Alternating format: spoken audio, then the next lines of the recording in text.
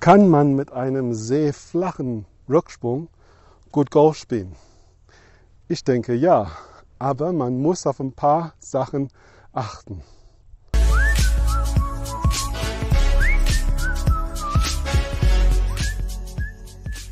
So, ich würde immer jemandem empfehlen, neutral hochzuschwingen, weder zu steil noch zu flach. Aber manchmal kann der Golf einfach so besser und äh, so ist es natürlicher. Und man muss als Golfer und als Trainer flexibel sein. So, mit dem Driver geht es auf jeden Fall. Warum? Der Ball ist schön hoch aufgetiet. Nur, und das ist bestimmt bei dir auch aufgefallen, ein flacherer Rückschwung bedeutet normalerweise mehr Hookspin und ein eher flacherer Ballflug. So klar, das muss man dann ähm, einkalkulieren. Dann, und das werde ich auch äh, vom Boden jetzt gleich erklären, ist es wichtig, dass du die Hände, Arme und Schaft auf der gleichen Ebene ja, behältst. Tendenz von ja ist zu hieben und hieben ist Gift. Ähm, so, wenn du es schaffen kannst, die Schulter flach zu rotieren, guck mal, die Schulterebene bleibt auch gleich oder sollte gleich bleiben.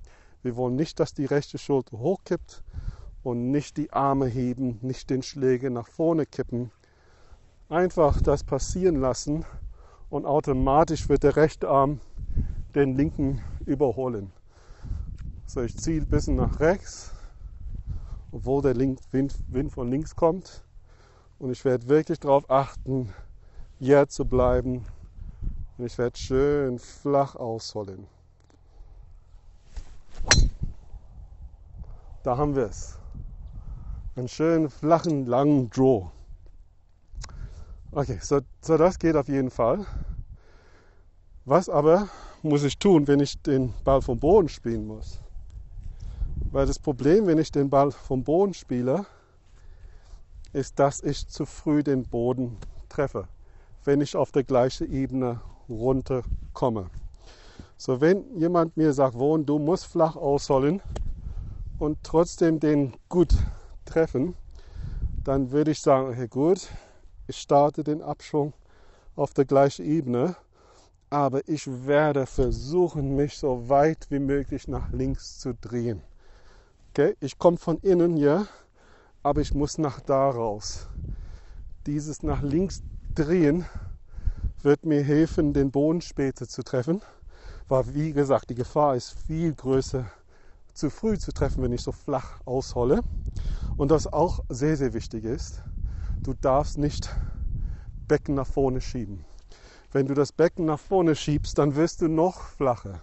So, für dich ist dieser Winkel zwischen Bein und Oberkörper extrem wichtig, dass du es beibehältst. Und ich werde auch hier ein bisschen schummeln und den Ball eher ein bisschen, also mittig spielen und nicht links von der Mitte. Denk daran, etwas nach rechts zu zielen.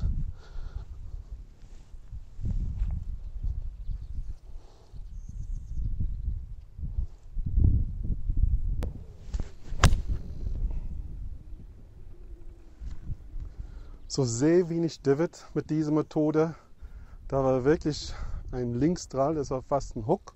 Aber ich habe mich sehr weit nach rechts ausgerichtet und der Ball ist auf dem Fairway. So ja, wenn du es unbedingt möchtest, du kannst das.